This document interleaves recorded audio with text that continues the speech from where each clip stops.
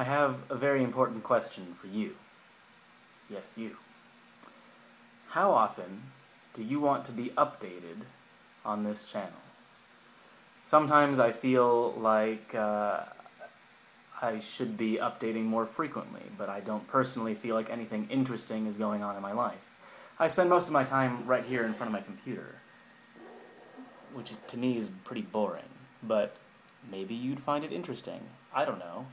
Um, when I originally started this channel, my idea was that I was going to have this alarm set on my phone to go off every hour, and when it would go off, no matter what I was doing at that point, I would film a 15 to 30 second video of what I was doing right then. I soon found that I I felt that the the videos coming out of that were boring.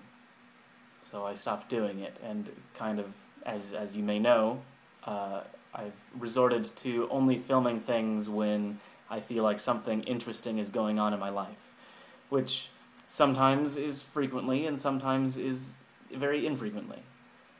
But uh, I would like to know what you what you want, dear subscribers.